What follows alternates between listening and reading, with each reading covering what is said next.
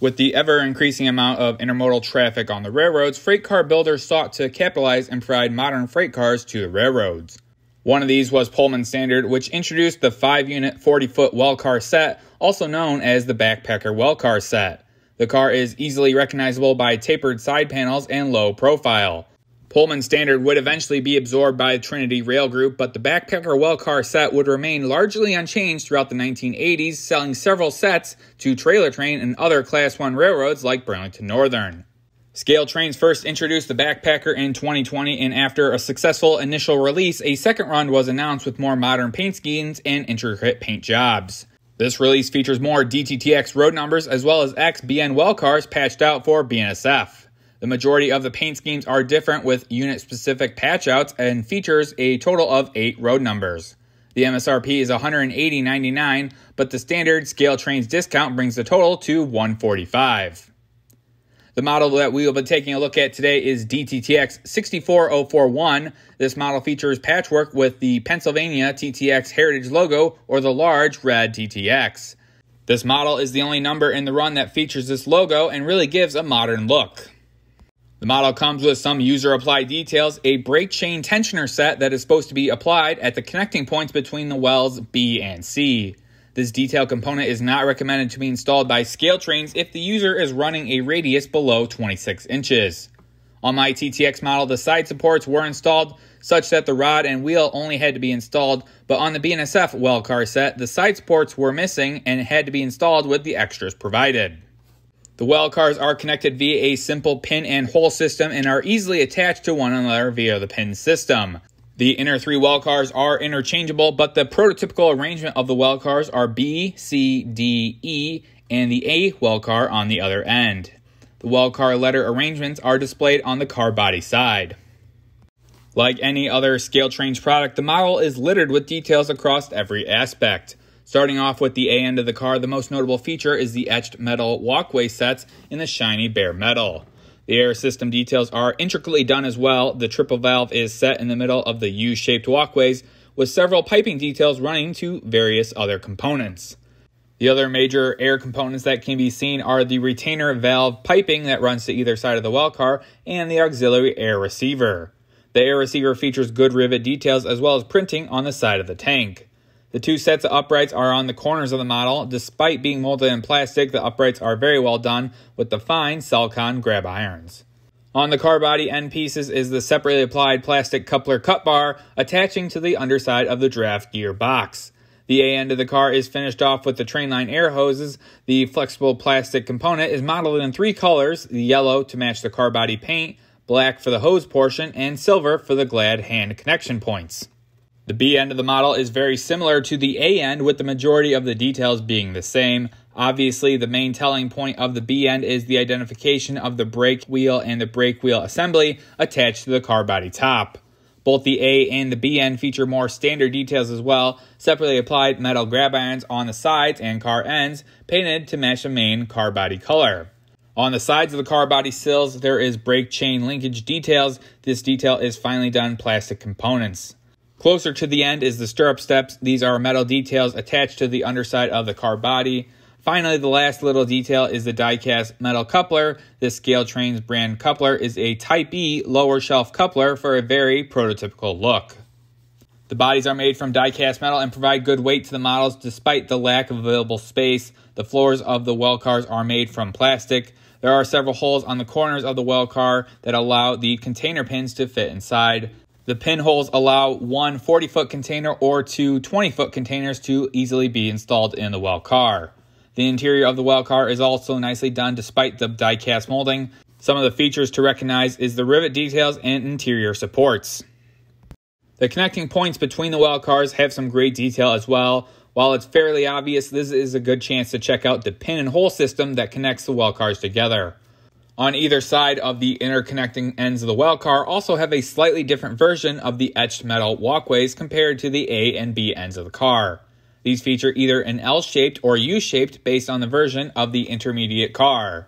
In the middle of the etched metal walkway is the interbox connector box that holds the ICBs. Scale trains included several of these small components for running when no containers in the ICBs would be stored away. On either side of the connecting pins or holes is the bearing side supports. These separately applied plastic details are painted to match the car body with two different versions to allow the installation of the brake tensioning wheel mentioned earlier. The last detail to note is the trainline air hoses that allow air to pass between the individual well cars. These details are similar to the end hoses with the black painting and silver accent painting as well. All the well car meeting points have hoses except for the A and E end, which use more of the standard piping between the wells. While the three intermediate well cars all look similar, there are several smaller differences between the three. The main spotting difference for the center well, or D, is the addition of the extra air receiver and control valve, while the C and E well cars only have a proportional valve.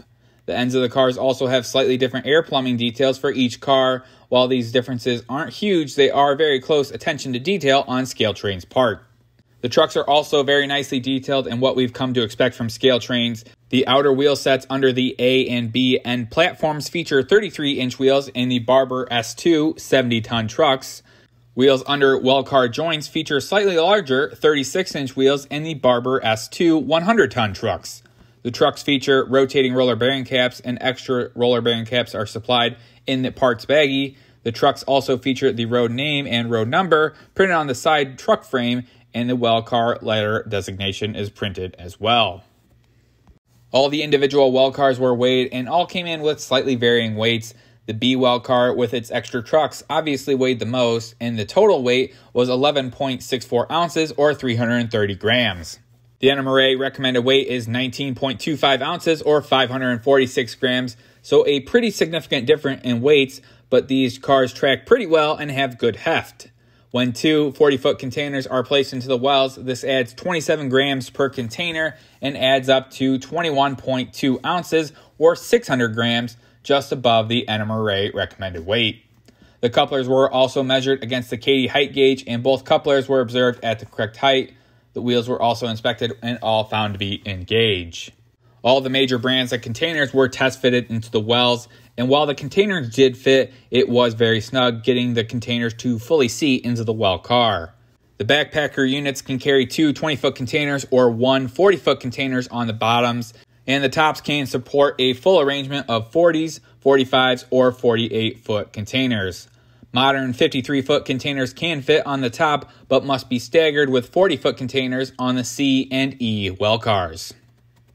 Moving on to the scoring section, the different scoring categories are shown with their respective point values. The model will be scored off these categories and then given a final score and a subsequent letter grade.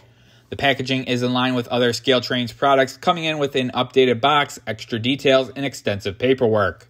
The paint on the model is extremely well done with the extensive paint patch job. Scale Trains did a great job with no blurriness or fuzziness lettering and sharp paint lines.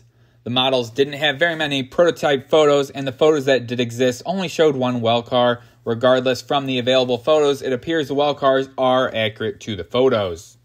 Scale Trains did a great job cramming all the little details into these cars and making older, more bulky details, refining them for a fine appearance. I think two of the most standout features is all the associated air plumbing as well as the etched metal walkways. The only thing that I could find a fault is the BNSF and TTX units arrived with broken or improperly glued pieces, and this shouldn't really happen on a $200 model. The couplers, trucks, and wheels were all professionally done on par with other scale trains models that have metal wheels with rotating roller bearing caps and metal couplers. The models did feature differing truck types depending on the truck location. The well car sets ran fine with no body wobble, they are slightly underweight per the NMRA recommended weight, but still good compared to the other brands. Adding two standard 40 foot containers brings the weight past NMRA recommended, but still would have been nice for a little extra heft in the well cars themselves. The MSRP on these cars gives a little sticker shock, but I think the value of these are very fair. There is a slight MSRP increase from the last run, but overall, these cars are very nice at a very fair price. These cars seem to be the best all around well cars on the market today. There's a few that are heavier but have less details, and there's other manufacturers with arguably better details but track poorly. I think Scale Trains did a great job of providing a very nice model that performs at that same level. Adding up all the points gives us a 98 out of 100 or the rarely achieved A plus rating. Comparing this model to other model actually ties this for first place along with another Scale Trains model. These well cars 100% deserve the high score and are the best well cars on the market today and for the foreseeable future. Scale Trains has really hit a grand slam by releasing these with extensive patch paintworks as well as the BNSF units, and these should be on the top of everybody's want list as soon as they're available. I only wish I saw these more on the prototype so I could buy more, but these are rather uncommon near me. I would recommend viewers to buy these quickly as they are probably going to sell out rather soon, but overall, these are incredible models at a very fair price. That's all I got for you guys this time. Hopefully, this review will help you decide on picking these up as they are incredible and I cannot recommend them enough. Tell me in the comments if you agree or if you prefer the BNSF one or the red TTX logo well car sets. But that's all I got for you guys this time. Comment, rate, subscribe, and we'll see you next time. Thanks for watching.